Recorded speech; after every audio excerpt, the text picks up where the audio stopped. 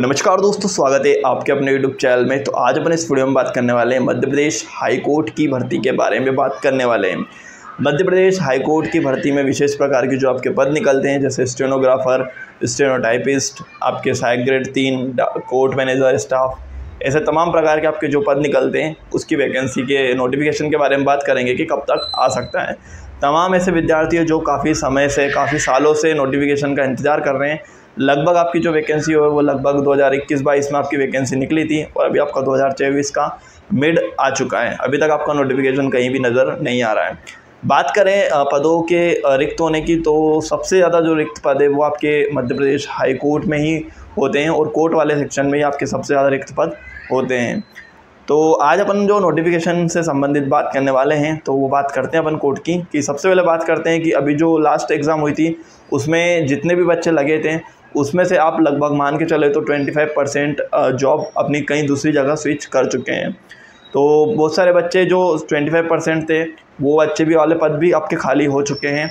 और ऐसे जो तमाम विद्यार्थी जो अदर जो पटवारी में सिलेक्ट हो चुके हैं ग्रुप फोर में सिलेक्ट हो चुके हैं, सब इंजीनियर में सिलेक्ट हो चुके हैं, ऐसे बहुत सारे ऐसे पद हैं जिसमें कम से कम आप मान के चलो तो 25 से 30 या 40 परसेंट आपके जो है पद जो बच्चे थे उनने स्विच कर लिया है दूसरी परीक्षा पास करके दूसरे विभाग में।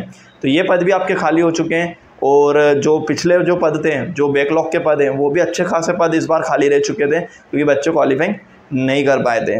तो ऐसे करके आपकी जो नोटिफिकेशन है, वो नोटिफिकेशन निश्चिंत रहिए। आपका इसी साल आपका नोटिफिकेशन आ जाएगा। लगभग मान के चले तो सितंबर, अक्टूबर में ही देखने को आपको मिलेगा। लास्ट आपका जब हुआ था, वो भी लगभग इसी टाइम में आया था। और अभी भी, अभी आपके जो प्रोसेस में जो चीज़ें चल रही है, रिक्त पदों की जानकारी को लेकर संबंधित और सारी चीज़ों को लेके जो चल रही है, जानकारी लेके। तो मान के चले तो आपका सितंबर, अक्टूबर तक ही इसका नोटिफिकेशन आपको देखने को मिल सकता है। आप अपनी तैयारी अच्छे से रखिए। आप अपना जो पढ़ रहे हो, जो पेपर है, उसके लिए आप अच्छे से तैयार रहिए। पिछली बार का भी आपको पता होगा कितना हाई जो है कट ऑफ़ गया था तो उस हिसाब का, उस हिसाब से आपको पढ़कर चलना है। और जो दूसरी एग्ज़ाम्स हो रही है, इसके बिहाफ में वो आप दूसरी एग्ज़ाम की तैयारी भी करके चलें। एक एग्ज़ाम के भरोसे नहीं रहे। आपकी जो भी इससे रिलेटेड आप जो सब्जेक्ट पढ़ रहे हो, उन सब्जेक्ट से रिलेटेड आप सिलेबस उठा के देखिए, कोई सा एग्ज़ाम उससे रिलेटेड होता है तो वो भी एग्ज़ाम आप दीजिए, ताकि आपका ऐसे एक एग्ज़ाम के भरोसे ना बैठे। दूसरे एग्ज़ाम में भी आपको दोगे तो आपको उसका, इस चीज़ का एक्सपीरियंस होगा, सारी चीज़ों का आपका एक्सपीरियंस होगा, और चीज़ें आपको सीखने को मिलेगी, और आपके बहुत सारे एग्ज़ाम में आपके जो क्वेश्चंस होते हैं, वो क्वेश्चंस भी आपको रिपीट देखने को मिलते हैं, ताकि आपको कहीं ना कहीं आपको बेनिफिट होगा।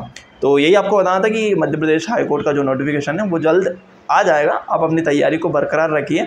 इसी साल आपको नोटिफिकेशन बहुत जल्द देखने को मिल जाएगा।